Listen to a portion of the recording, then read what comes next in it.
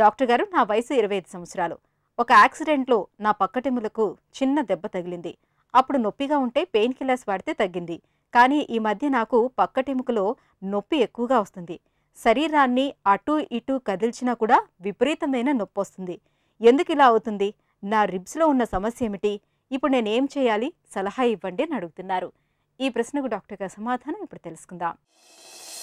Rib fracture అయి ఉండొచ్చండి accidents అప్పుడు రిబ్స్ దగ్గర చాలా హార్డ్గా ఇంజరీ అయితే చిన్న ఫ్రాక్చర్స్ అవ్వచ్చు హెయిర్ లైన్ ఫ్రాక్చర్స్ అంటారు దాన్ని.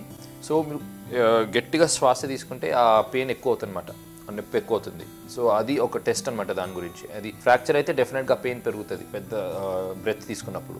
సో దానికి ట్రీట్మెంట్ అయితే సెపరేట్గా ఏమి ఉండదు. యూజువల్గా ఒక సిక్స్ వీక్స్లో ఆటోమేటిక్గా అది హీల్ అయిపోతుంది. దానికి ఆపరేషన్ లాంటిది ఏం అవసరం లేదు. కానీ రెస్ట్ తీసుకోవాలి. మరి ఎక్కువ స్టెన్యూస్ యాక్టివిటీస్ చేయకూడదు. స్పోర్ట్స్ పెద్ద బరువులు ఎత్తడం అట్లా చేయకూడదు. ఒక one month four six weeks వరకు కొంచెం రెస్ట్ ఇస్తే ఆటోమేటిక్గా సెట్ అయిపోతుంది అది. ప్లస్ మీరు ఏం చేసుకోవాలంటే బ్రీదింగ్ ఎక్సర్సైజ్ చేస్తుండాలి. నొప్పి వల్ల ఏమవుతుందంటే కొందరు ప్రాపర్గా శ్వాస తీసుకోరు. మీరు అట్లా చేయకూడదు. మీరు శ్వాస తీసుకోవాలి ఆ ఎక్సర్సైజ్ చేస్తుండాలి కొంచెం పెయిన్ ఉన్నా కూడా తీసుకుంటూ ఉండాలి అనమాట